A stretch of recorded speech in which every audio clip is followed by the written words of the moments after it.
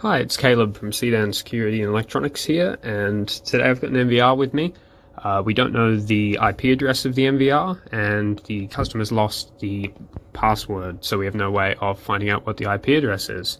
Um, occasionally, you can get around this by using config tool, but sometimes if the network ranges don't match, occasionally it won't show up.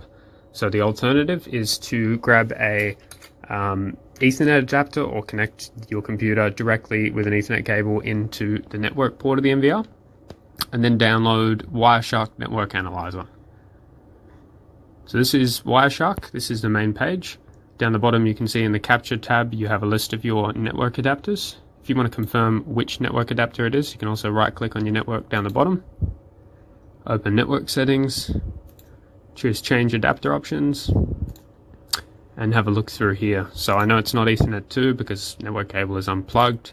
All of my other ones are for VirtualBox and VMware, so I know it's Ethernet 14.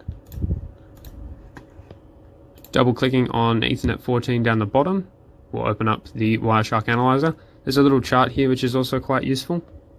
It shows you what network activity is actually happening on that port at this point in time. So after double clicking, Wireshark is now recording any network activity on that port. I'll let it run for a few seconds just to get some information.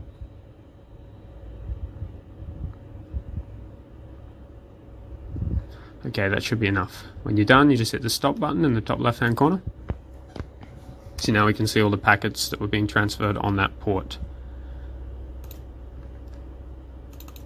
So you can see here there's some that are have a Chinese name in them.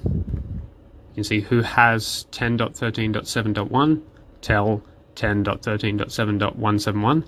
So that's an ARP request. So what that means is the NVR is actually sending packets looking for the default gateway, which is set at 10.13.7.1. And it's saying to tell it to 10.13.7.171. So that shows us that the IP address of the NVR is actually at 10.13.7.171. You could do this on a larger network as well without being connected directly into the network port of the NVR.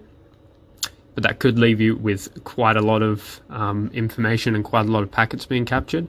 So the easiest way to narrow down the amount of packets you've got is by connecting it directly into the network port.